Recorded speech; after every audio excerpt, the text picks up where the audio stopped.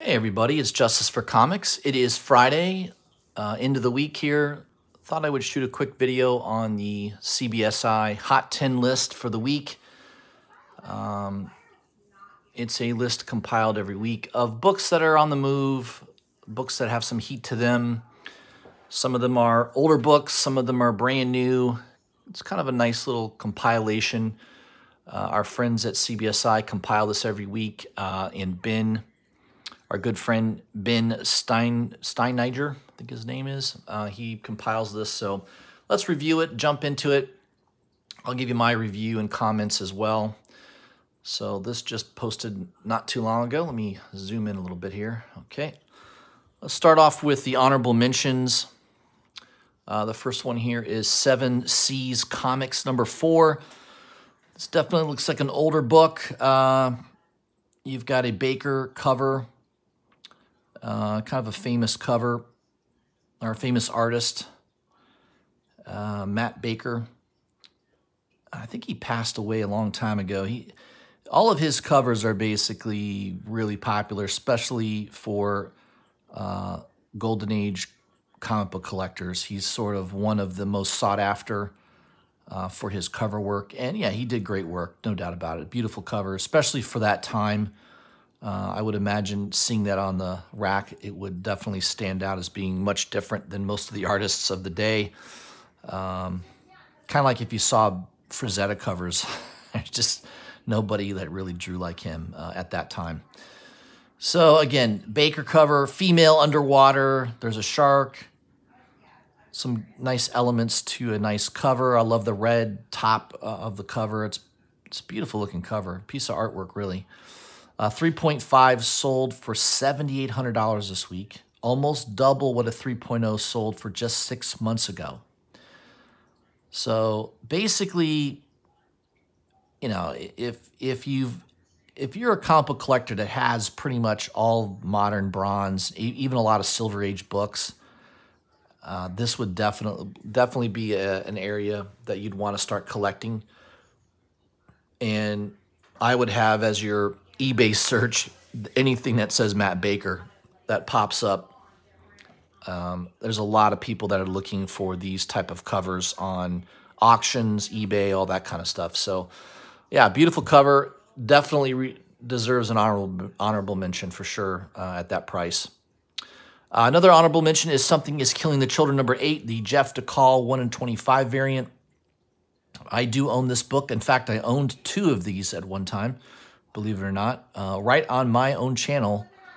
Um, I I think the week this came out, I told people on my channel that this is a good buy. I would buy this book. I bought two of them on eBay on uh, not eBay. I bought two of them on Midtown, and paid sixty six dollars for each of them.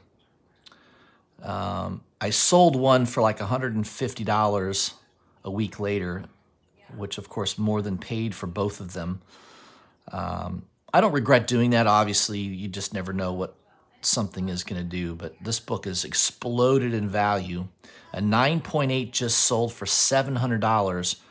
Uh, I think a week or two before that, one had sold around four to five hundred dollar range. So, um, yeah, this book is definitely on the move. It says here a, a, raw copy is available on eBay at the moment and has five days left, and it's almost at four hundred dollars.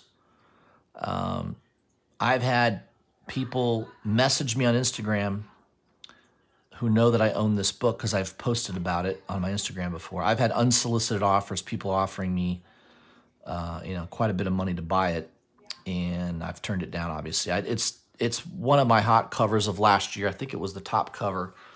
So I've been all over this book way before everybody else was talking about it.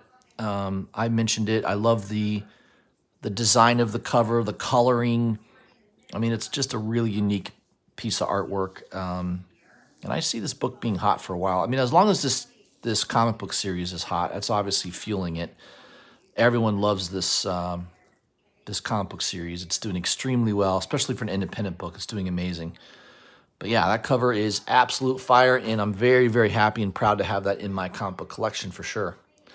All right, let's move on to number 10 on the list. Killmonger number one, the second print. This book came out a few years ago. It's not that old. Um, all things Black Panther right now are doing fairly well in the aftermarket. Um, yeah, just a couple weeks ago, there was a couple books about Wakanda. Um, Wakanda books were on the on the list. Uh, this was a twenty to thirty dollar book. Now it's around fifty dollars. Um, yeah, Ben writes here. I really hope that if they bring if they bring Killmonger back, he keeps the hard edge that he had initially. So obviously, we know that he died at the end of the Black Panther movie. Spoiler alert. but who knows? maybe the, maybe he didn't really die. Maybe they brought him back. Um, yeah, I think that's something that they could explore. Obviously, having Michael B. Johnson uh, Michael B. Jordan rather as the actor would be good. I think I can't imagine anybody else playing Killmonger. I, th I think he was perfect for that role. Um, so yeah, I could see that. It's a cool cover and it's a second print, probably low print run. Not a lot of people were probably paying attention too much to this book, so I could see why that's a hot book. So that is your number 10 book. Number 9 is Spawn 174. Uh, first, I think this is the first appearance of Gunslinger Spawn. Now, there's been news announcements that Todd McFarlane is expanding the Spawn universe, as he's calling it. Four new titles are, are going to be coming out this year. This is going to be one of them. Uh, Gunslinger Spawn will have his own ongoing series. Um, obviously, that's making this uh, original piece uh, this original 174 book going up a lot. Nine eighths have gone from about 500 to about 650. Um, yeah, I could see this being a thousand dollar book, no doubt about it. It is a cool looking cover. Um, I guess there's also a cameo in issue 119, so that might be something to keep your eye on. Um, yeah, all things Spawn. This is the year of Spawn. I think Spawn is just doing very, very well. Sa sales have been excellent. McFarlane uh, is getting a lot of recognition that he obviously deserves and always should have had, but it's nice to see him really doing well with uh, with Spawn. Number eight is The Walking Dead number one. Probably one of the most well-known, expensive independent comic books. Uh, it's up there with the Turtles and uh, Bone and all that. It's, you know, the, the 9 eighths have always been fairly expensive on this book. Um, yeah, they're back. In, they're back in uh, back on the list. Uh, four years ago, it says here nine eight uh, are back up to three thousand.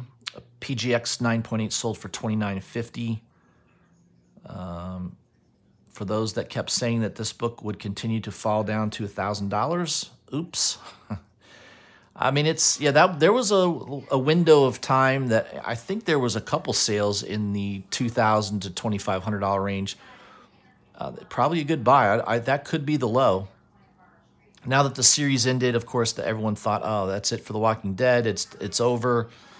Um, but there seems to be a resurgence. I mean, that's always going to be a book that I think a lot of uh, comic book collectors are always going to have their eye on is is Walking Dead number one in high grade. So uh, it's definitely a key book for sure. Number seven is Marvel uh, number five, the Adam Hughes 1 in 25 variant. Um, it's at about double ratio. This around $50. I, I remember seeing this. I wasn't impressed with the cover. I didn't think it was that great. It, it doesn't jump out at you. The colors are very muted. Um, I mean, the art is okay. It's a it's it's a typical Adam Hughes um, cover. I mean, I, I don't think it's his best. I passed on it. I easily could have bought one. Uh, I think Midtown had it around $40. So Midtown had it kind of jacked up. They didn't have it near ratio anyways. But um, yeah, I mean, sometimes Adam Hughes covers do really well. I, I don't see this one doing well long term.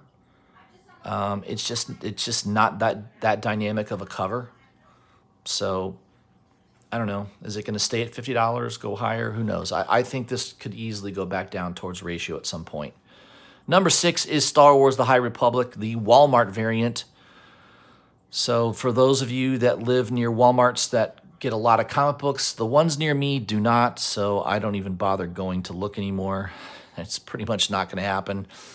Um, but if you happen to be at your local Walmart, you may want to check the comic book aisle. It's usually near the cashier's aisles.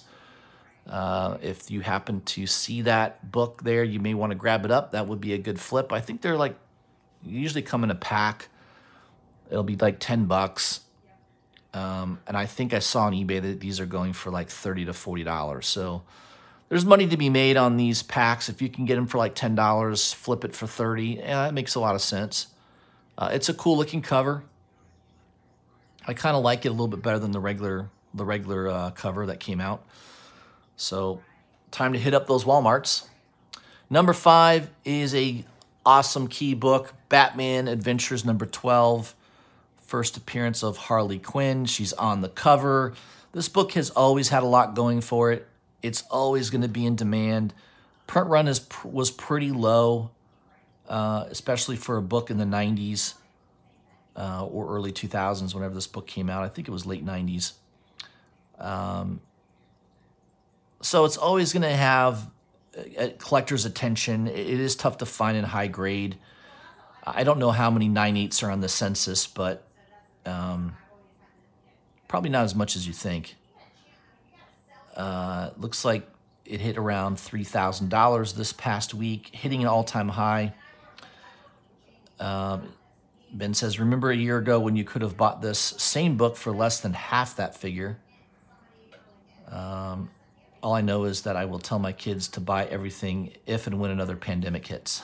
so, yeah, there were some fantastic deals last year during the pandemic. Just people flipped out. And no doubt about it, some people needed money, needed cash, especially if your business is shut down. Um, you know, some people put a lot of money in the bank and other people put a lot of their money in comic books. So um, the time to buy is when people are selling, right? People are panicking. And that obviously turned out to be a pretty nice time to pick up some deals. And you'll never go wrong buying a first appearance of a major character like Harley Quinn. Um, I don't, you know, Harley Quinn is not Batman or any other major character like that, but it's it's always going to be a, a, pretty well-known character. Um, I could see more and more movies down the road. Yeah, it's always going to be a character that people are going to be interested in, and definitely a key book. So I don't have it in my collection, unfortunately. I've passed it up many times. I probably could have bought I've looked at nine sixes, I think, in the four to five hundred dollar range, many, many times. Um, never quite pulled the trigger. I don't know why. I mean, probably should have, but yeah, it's just one of those books. If you can find a good deal, I would get one. It's a great book to have long term in the collection. Number four is Black Cotton number one, new series by Scout Comics. Um, yeah, Scout Comics are starting to be on the list a lot. I mean, I've noticed the last month or so they've had a couple different books on the list. This one has an interesting premise. There's, as far as I know, there's no retail incentives on this. I guess there might be a couple retailer retailer exclusives, but selling around fifteen dollars right now. Obviously, a two ninety nine, three ninety nine book, whatever it was selling at $15. It's done well. I grabbed one. I have it on my pull list. I'd like to at least pick up the first couple issues, see if it's a good read. Um, I don't know. It, it's basically flip-flopping the way society looks like today where um, the people that seem to be in charge are no longer in charge. Uh, there's some definitely racial controversy to this um, this comic book. That's probably one of the reasons it's it's hot at the moment. Um, but yeah, if you happen to see that at your local shop, you may want to grab that one uh, for cover especially. Number three is Taskmaster number three, the Shane Davis 1 in 25 variant. Uh, I've talked about this book quite a bit on my channel. I've posted on Instagram. I told people this may not be a bad book to buy around $50. Uh, I got my copy for $39 shipped and I've done really well on it. It's selling yeah around 150 to 175. I think the prices are, have cooled a little bit on it, but it is a tough book to find. The print run on this is low. Not a lot of shops ordered 25 copies of Taskmaster number three. So long term, this could be one of those books that all of a sudden one day people are paying four or five hundred dollars for just because it is a cool it is a cool looking cover and it's super rare. There's not a lot of these out there. So especially for a 1 in 25. Uh, if you go on eBay, there may be a, a handful of, for sale, but uh, there were a couple weeks where there was no, there was none of these on on eBay. So that tells me it's a pretty pretty low print run. Number two on the list is Spider Woman. Uh, number nine, this is the Rose Besch 1 in 25 variant. I talked about this book last week when I did my new comic book day video. I said you should grab one if you can. Um, getting it near ratio was absolutely near impossible. Um, I got a couple copies at $45 shipped. That was the cheapest I could find. And now it's selling well over 125. There's been a couple sales registered around 150. Um, yeah, I mean, it's a cool cover. This is a new artist. She hasn't done too much. She's kind of has an anime style to her artwork. I just posted on Instagram this morning. Um, she has a a cover coming out for Silk number two. It's a one in 25. There's still a couple shops online selling it around $40, 40 to 50. Uh, I think that's going to sell out pretty soon, especially after I post it on Instagram. It's probably, I'm up, I mean, I'm up to almost 1,200 uh, followers now on Instagram. So uh, a lot of my followers act on my advice. So uh, there weren't too many shops selling this book. Uh, the Silk number two, 1 in 25 variant. It's not quite as good as this one. I think this one's a better cover. Um, but she is a up and coming artist, kind of has that Peach Momoko vibe to her, very kind of an animated style, uh, anime style. And I, you know, who knows? Right now, there's attention on this artist. Will it last? No one knows. But I'd say if you could get this book between ratio and maybe double ratio, that would be a good price. But yeah, right now, 125 or more, yeah, it's you're at the top end. Who knows? Let it cool down for a while, then reassess. But it is a cool cover, no doubt about it. And I don't know a lot of shops that order 25 copies of Spider Woman number nine. Maybe the first two or three issues of Spider Woman, um, a lot of shops went heavier on. But let's face it, there's not I mean, the shops near me aren't going to order 25 copies of, of this book. No way. So if you happen to have a big shop near you, that's your best bet to try to get a deal on these 1 in 25s. Um, long term, there could be some collectability just because they could be fairly rare. Ben says here that they, you know, that there doesn't this book doesn't seem to be that rare. Um, there are probably a dozen listings on eBay right now. So the early indication is it, it doesn't seem to be a super rare book. Not unlike Taskmaster number three, there are quite a few more for sale of this book, but um, it's still a cool cover, and I, I could see this maybe being a, a good cover long term, especially if the artist really takes off, uh, like like a Peach Momoko. You never know. Number one is Fantastic Four number 94. Cool looking cover, cover by Kirby. Uh, it's not. It's kind of cool to see some of these older Fantastic Four books do well. Uh, it's a classic series. A lot of good books in that run. Um, ben says we've all have probably passed this by in the back issue bins as we don't even look through the Fantastic Four runs. Maybe prices are still being rewritten at this point. For example, a 7.5 just sold for $330 which is $100 more than an 8.0 sold for last week. A 9.4 sold for 900 which is $100 higher than a 9.6 sold for two weeks ago. Uh, is that a spoiler free? Is that as spoiler free as possible? so I don't know the other reasons why this book is hot. Um, it is a cool looking cover. It's an, you know, it's an early, er, early version of Fantastic Four. I'd say the first 100 issues of Fantastic Four are definitely um, pretty important books. So yeah, it's nice to see a Kirby book on the list. So that's that is your hot 10 list, guys, for the week ending February 19th. Um, I am going to be out most of next week. I'm going to be um, in a golf tournament up in northern Florida. looking forward to that. Hopefully the weather is nice. Um, I will be posting some videos next week while I'm while I'm up there. I'll have my laptop with me and I'll try to bring all my equipment so I can still do these videos. Um, but if you haven't already, please subscribe to my channel, hit the bell for notifications, leave me a comment, let me know what you think of this video and what you think of this list. Maybe there was something I missed that I should have mentioned. Please leave that in the comments and I will see you guys later this weekend. Thanks, guys.